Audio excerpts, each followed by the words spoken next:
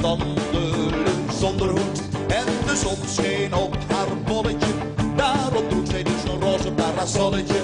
En daar ging zij dan heel alleen, tot ze uit het gezicht verdween. Ze liep het dorp uit, het werd wat stilletjes, haar zijden rokjes spanden strak over haar billetjes. Moriaantje kwam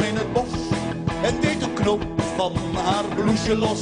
Achter haar aan wandelden wat mannetjes, wat hadden die daar voor snode plannetjes? Moriaantje, die was niet gek, want in het bos had zij haar afwerkplek.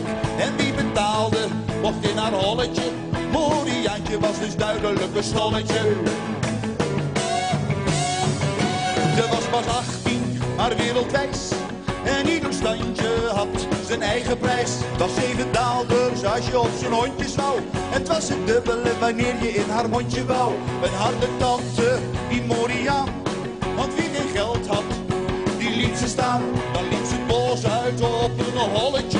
En wie daarna kwam, sloeg ze met een parasolletje.